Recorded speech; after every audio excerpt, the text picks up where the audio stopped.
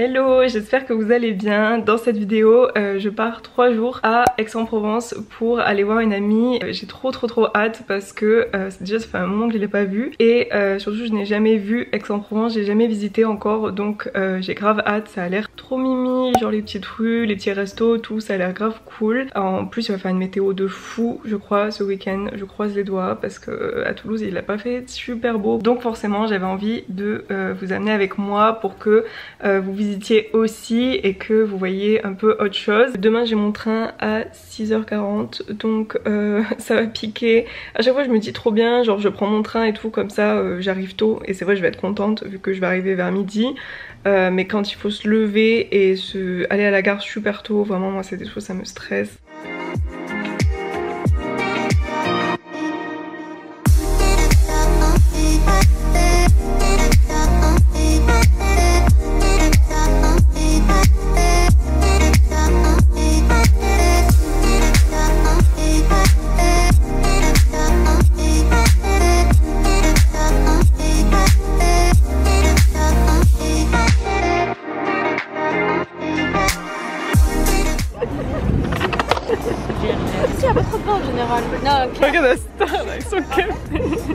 On va encore renverser Ah oui.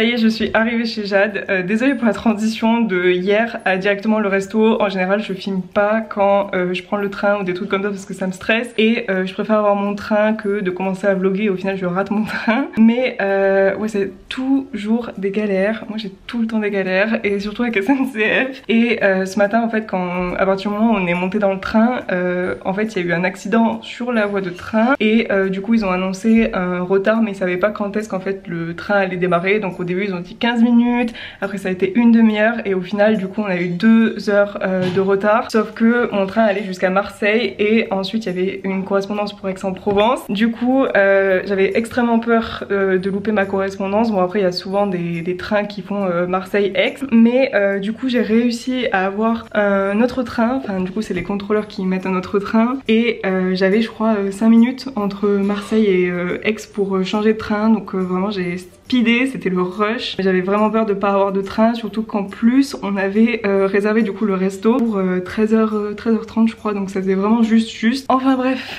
je suis arrivée à Aix, on est allé manger euh, au resto. J'ai pris une pizza euh, burrata, la burrata était tellement bonne. Et euh, du coup mes potes ont pris des pâtes et pâtes et risotto. Et apparemment c'était très très bon. En tout cas le, le bistrot est vraiment très beau. Donc je recommande. Et ensuite on s'est juste baladé dans les petites rues, il fait très chaud. Aix c'est trop trop chaud, genre pour l'instant j'aime vraiment, c'est hyper agréable, il y a tout le monde en terrasse, ça se voit que tout le monde est content de manger au resto, de prendre un verre. Et en fait ce que j'aime vraiment c'est que que des petites rues et tout est piéton du coup en fait il y a plein plein de terrasses dans des petites rues. Donc en fait on peut prendre un café ou même un verre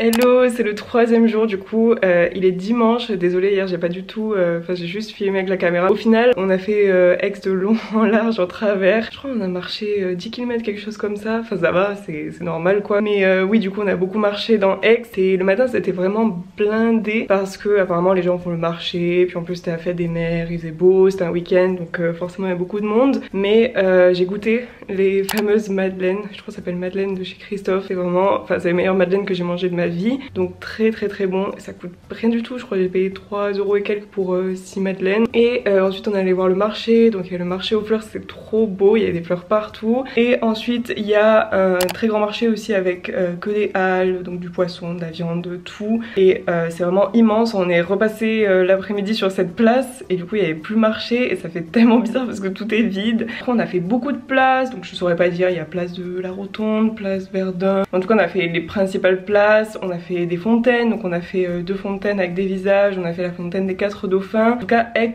de ce que j'ai vérifié, euh, il y a 130 fontaines dans Aix. Et euh, le midi, on a mangé une pita au restaurant Tita, c'était une tuerie. C'était trop trop trop bon, j'avais noté parce qu'il y avait que des bons avis. donc oui, je vous confirme que c'est très très bon. Et du coup aujourd'hui je suis en maillot puisque on va faire des calanques, enfin une calanque.